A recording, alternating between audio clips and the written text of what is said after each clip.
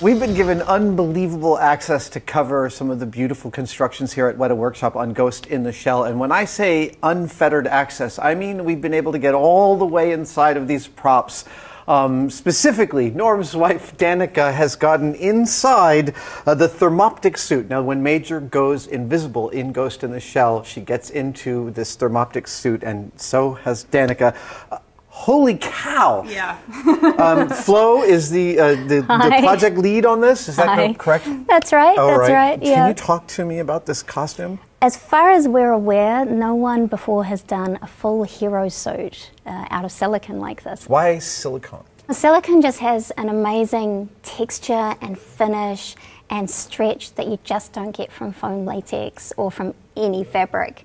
It's really otherworldly and quite technologically advanced in appearance, and we could get these incredible details right into the costume. You know, we'd never have been able to do this with any, other material. Unbelievable. And it's multiple castings because I see different colors. There's fabric there, there's co molding, a huge amount of processes and problem solving. Yeah, even different uh, different types of silicon. You can see here we have the softer silicon and a firmer silicon for the uh, pauldrons around her shoulders. Full marks to you, Danica, for being willing to get into this. Thank you very much.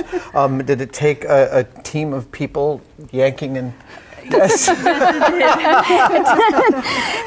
it's beautiful how it moves. I'm seeing very little wrinkling. So uh, you have magnets in some of this? Yeah, yeah. Uh, you can see to hold Major's pauldrons down to the suit here.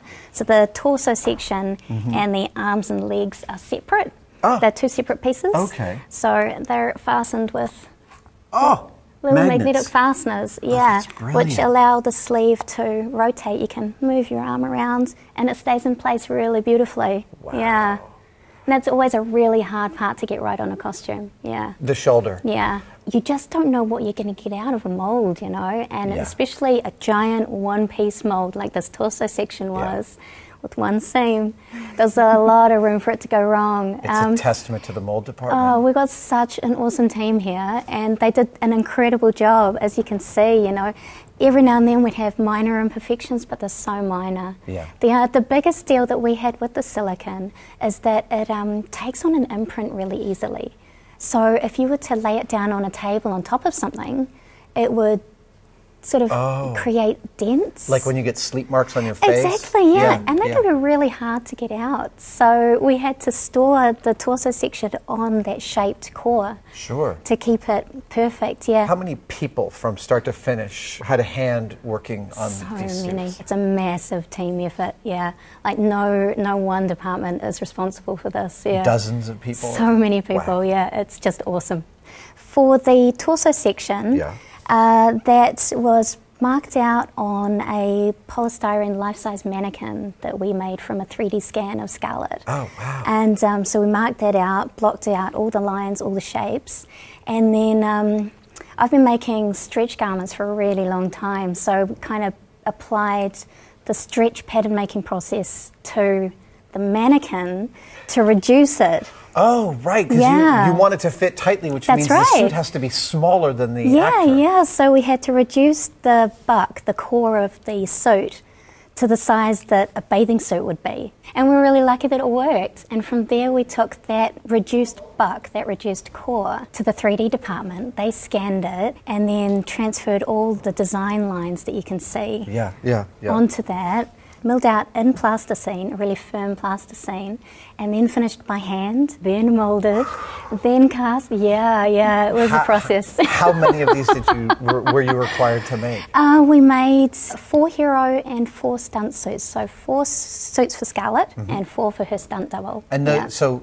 am I correct in that her stunt double had to also be scanned?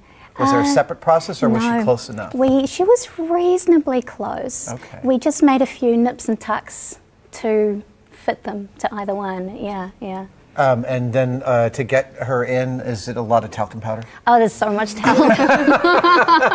so much talc that I leave a trail of it everywhere I go. the torso piece is much easier to get into. Really? Yeah, so Yeah. this is separate. Oh, it's like a bathing suit almost. Yeah. Yeah. Okay. Yeah. So that, that, that piece was much Much easier. it's just like straight in over the head. Yeah. Oh, really? It's a, Yeah, so there's yeah. no zipper up the back. so back. there's no zip. That was a really big thing that we had to decide. Was um, you can see Ah, yeah. this is the one seam on the costume, the only seam. That's incredible. Yeah, but we didn't want to have to put any fastenings in because it would ruin the finish of the suit. Above and beyond the Call of Duty, punch in. And much respect to Scarlett Johansson for doing this. for- Really?